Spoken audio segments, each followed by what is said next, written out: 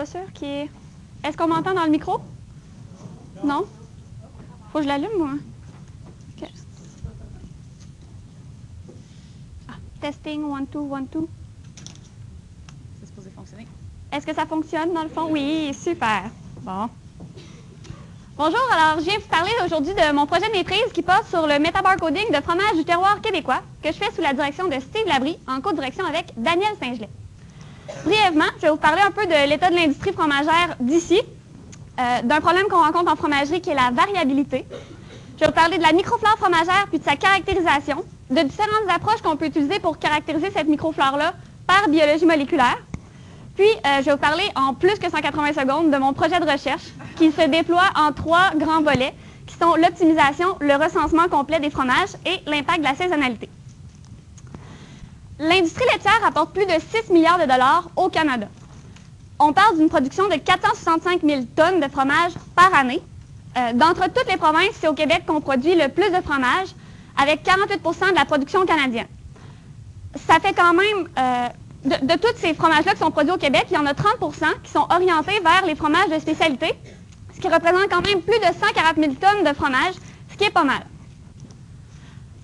Les fromages québécois rencontrent souvent les plus hauts standards. Par contre, comme tous les fromages, ils connaissent ce problème qui est la variation d'une production à une autre. Les industriels reconnaissent que euh, selon la variété du fromage ou selon l'usine à laquelle on s'intéresse, il va y avoir une variation de leur fromage de 2 à 20% Quand je dis une variation de la qualité, je parle d'un problème de goût, de texture, d'odeur, un problème de pigmentation ou des apparitions de fente qui ne sont pas nécessairement désirées. Ça va être quelque chose qui peut rebuter les consommateurs qui vont alors se tourner vers d'autres produits. Ça va entraîner des pertes économiques astronomiques pour les artisans fromagers. D'autant plus considérant l'accord économique et commercial global qui a été signé récemment avec l'Union européenne, les quotas d'importation vont doubler au cours des prochaines années.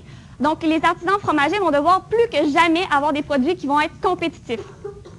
Alors, le but de mon projet, c'est d'aider ces artisans-là pour les outiller afin qu'ils puissent produire des fromages qui vont être constants au fil du temps. J'imagine que vous n'êtes pas sans savoir, un fromage, c'est vivant. Puis, pour bien comprendre un fromage, il faut bien comprendre les micro-organismes qui sont présents chez ces fromages-là. Chez ces fromages-là. Donc, on cherche à identifier qui est présent. On recherche donc à recenser l'ensemble de levures, bactéries et moisissures qui sont présents chez ces fromages-là. Je suis sûre que vous le savez, euh, la transformation du lait en fromage, ça résulte de l'activité des différents micro-organismes. Puis ces micro-organismes-là qui varient font en sorte justement que les fromages varient. Mais par contre, on peut se demander d'où arrivent ces micro-organismes-là. Il y a énormément de sources. Premièrement, lorsqu'on fabrique le fromage, on part d'une matière première, le lait.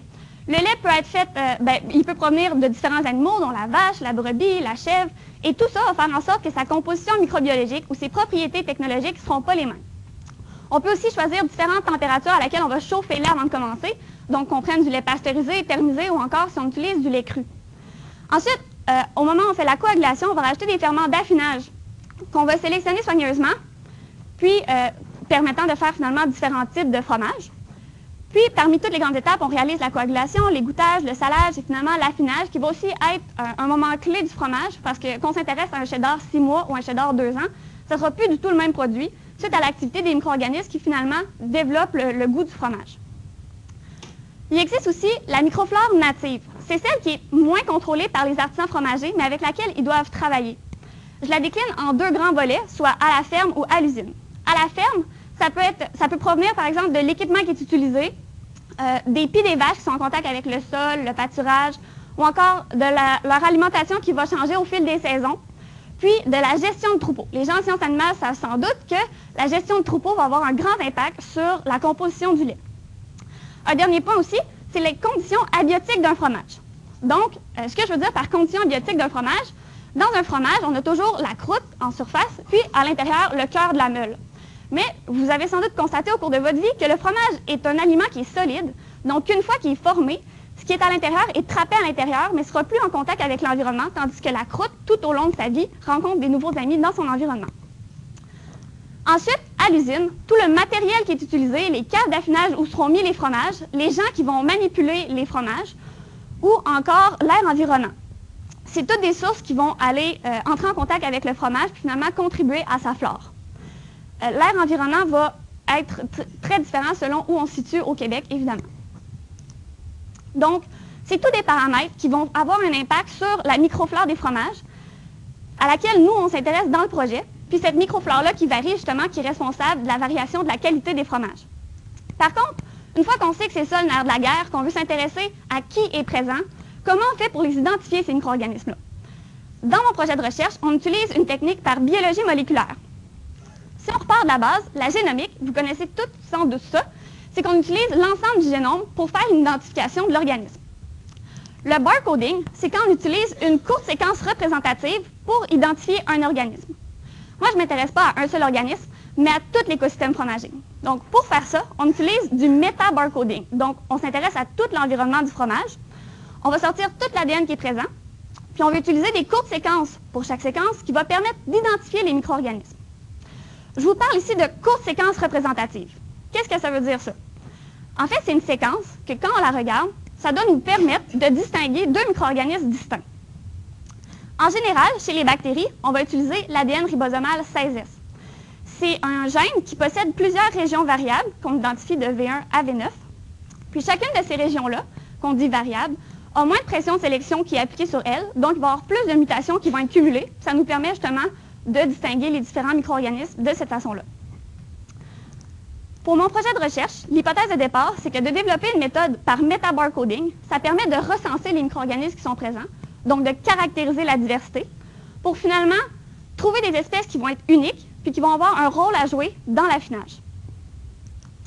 Mes objectifs se déclinent en trois, étapes. Premièrement, optimiser cette méthode de barcoding-là, faire un recensement complet de fromage, puis euh, analyser l'impact des saisons.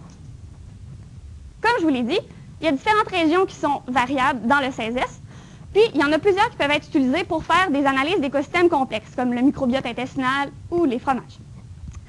Nous, dans notre projet, on a décidé de comparer deux régions pour voir laquelle allait être la meilleure pour suivre les écosystèmes de fromage. On compare donc la région V3-V4 avec la région V6-V8. Pour faire ça, j'ai utilisé quatre fromages, qui seront tous à croûte lavée, québécois et faits à partir de lait de vache. Les trois premiers fromages, A, B et C, on s'intéresse à l'effet de la section, donc on compare la croûte avec la pâte. Pour le quatrième fromage, le fromage D, on s'intéresse à sa flore au fil du vieillissement, donc à jour 6, 8, 12 et 21. Je vais vous présenter les résultats de richesse et diversité pour chacune des deux régions, donc V3, V4 et V6, V8. Vous pouvez voir en bleu, ça va être les résultats de diversité, et en orange, les résultats de richesse, qui vont être présentés par le nombre d'UTO, qui est une unité taxonomique opérationnelle. À toute fin près, on peut approximer une UTO par une espèce. C'est la définition qui s'en rapprocherait le plus pour ceux qui ne connaissent pas du tout la définition d'UTO. Donc, quand je vais dire le nombre d'UTO présents, vous pouvez vous dire c'est comme la quantité d'espèces qui étaient présentes chez un fromage. Donc, plus il y en a, évidemment, plus c'est riche. Chaque colonne est représentée par un fromage distinct. Un peu lourd comme figure, alors je vais essayer de la, de la simplifier un peu. Donc, au départ, quand on s'intéresse à l'effet de la section, on va comparer chaque pâte avec sa croûte. Donc, par exemple, pour le fromage A, on regarde sa pâte et sa croûte, puis les mêmes fromages sont évidemment analysés pour la région V3, V4 et V6, V8. Normalement, comme je vous l'ai dit, la croûte est en contact tout au long de sa vie avec un environnement, donc elle devrait être beaucoup plus riche que sa pâte respective. Parce qu'à l'origine, on part d'une même pâte qui, l'extérieur étant en contact avec plusieurs sources, sera plus riche et diversifiée. Donc, par exemple, si on regarde pour le fromage A avec la région V3, V4, on voit une augmentation de la diversité qui monte de 4 à 7, puis une augmentation de la richesse qui monte d'environ 1,5 à 5. Donc, on voit que c'est bel et bien le cas, ça l'a augmenté. Si on le fait pour chacun des fromages, on peut observer qu'effectivement, pour chacun des fromages, pour les deux régions, les deux régions permettent justement de voir cet enrichissement-là qui se fait de la pâte vers les croûtes. Donc, les deux régions semblent adaptées pour suivre ce genre de comparaison-là. Ensuite, au niveau des différents jours de l'affinage, notre fromage D, qu'on suit à jour 6 jusqu'à jour 21. Autant au, fil de l'affinage, le fromage va justement être en contact, puis au départ, on part de la microflore native qui était présente dans le lait et dans le fromage de départ. Mais au fil du temps, une microflore secondaire va se développer, donc la richesse et la diversité devraient augmenter au fil du temps. On peut observer pour la région V3-V4 une augmentation jusqu'à jour 12, puis finalement une diminution à jour 21, ce qui n'est pas vraiment ce qui représente la réalité. Tandis que pour la région V6-V8, on voit vraiment une augmentation constante de la richesse et de la diversité. Donc, pour suivre les étapes de vieillissement, la région V6-V8 semble être la meilleure des deux. Ensuite, pour le nombre total d'UTO qui a été euh, recensé dans les environnements, il y en a près de deux fois plus qui ont été retrouvés avec V6-V8. Ce qui, en approximant, voudrait dire que c'est comme si on avait réussi à avoir deux fois plus d'espèces avec la région V6-V8, donc qui permet d'en recenser beaucoup plus. Encore une fois, c'est celle qui est optimale. Donc, de par sa capacité à suivre l'évolution au fil du temps, puis par sa capacité à reconnaître le plus d'espèces, c'est la région V6-V8 qui a été couronnée la grande gagnante pour le reste de mon projet. Donc, par la suite, euh, c'est toujours cette région-là qui va être utilisée pour les bactéries. On a ensuite cherché à savoir qui étaient les micro-organismes qui étaient présents. Donc, il y en a énormément. On s'est intéressé aux taxons les plus abondants, donc ceux qui sont présents à plus grand ou égal à 1% dans le fromage. On va retrouver en Y la proportion des taxons en pourcentage, puis encore une fois, chaque colonne va être représentée par un fromage distinct. Ici, c'est la liste des genres qui avaient plus de 1% Et si on s'intéresse, encore une fois, à la section des fromages, donc pour les fromages A, B, C, on s'intéresse à la pâte versus la croûte. On peut observer d'un rapide coup d'œil que les pâtes présentent beaucoup moins de couleurs que les croûtes. On voit par exemple 2 à 4 genres. Ici, on en compte 1, 2, 3, 4, 1, 2. Donc, on voit qu'il y a beaucoup moins de genres abondants chez les pâtes que chez les croûtes. Chez les croûtes, on en compte généralement de 8 à 11 genres. Donc, c'est ce qui représente l'augmentation de la richesse et de la diversité qu'on a vu précédemment. Ensuite, au niveau des croûtes, on voit en vert les bactéries euh, donc des bactéries holophiles, et en bleu foncé, c'est des bactéries corinéformes, qu'on voit ici aussi. Et les bactéries halophiles et corinéformes, c'est exactement le genre de bactéries qu'on devrait retrouver dans un profil de fromage à croûte lavée, qui est exactement les fromages avec lesquels on travaillait. Ensuite, pour euh, les fromages dont on suivait l'évolution au fil du temps, on peut voir le premier fromage, à jour 6, qui présente encore une fois un profil qui semble assez pauvre, avec peu, peu de diversité. On retrouve par exemple la couleur orangée qui représente lactococcus, donc, on retrouve 96% de lactococcus. C'est le genre de truc auquel on s'attend sur un fromage qui va être assez jeune, de retrouver finalement les ferments que nous, on a ajoutés dans le fromage, parce que sa microflore secondaire n'a pas encore eu le temps nécessairement de se développer. Tandis que pour le même fromage, qu'on dit mature à, jour 12, il, est presque mature, à jour 21, il est mature. Puis on voit justement que chez le fromage mature, il va être beaucoup plus diversifié. On voit aussi la présence de pseudo-altéromonas, un fromage auquel on s'attend pour un fromage à croûte lavée. Donc, encore une fois, la région V6-V8 qu'on a utilisée pour faire ces résultats-là semble très adaptée pour suivre le profil de nos fromages. Donc, pour la suite de mon projet, euh, comme je vous l'ai dit, le premier volet est d'optimiser la méthode. Pour les bactéries, ça a été fait. On a comparé deux régions et la grande gagnante a été déterminée. Par contre, il reste à faire ça pour les levures et les moisissures, donc les fungi. Encore une fois, on va comparer deux régions, choisir laquelle semble la plus adaptée pour caractériser la diversité et la richesse des écosystèmes de fromage. Par la suite, une fois que ces deux régions-là vont avoir été déterminées, on va faire le recensement de 26 fromages qui proviennent euh, du Québec. Et pour chaque fromage, on va analyser la croûte et la pâte. Et ces fromages-là proviennent de 21 fermes laitières. Ensuite, on va regarder s'il y a des espèces là-dedans qui semblent présenter, ben, qui vont être uniques, puis qui semblent présenter un intérêt pour l'affinage. On s'attend à sélectionner ensuite 5 fromages. De, tous ces fromages, de ces fromages-là, on s'attend à en resélectionner 5 pour finalement les regarder une première fois à l'été, puis une deuxième fois à l'automne, pour voir s'il y a un impact de la saison sur la microflore des fromages.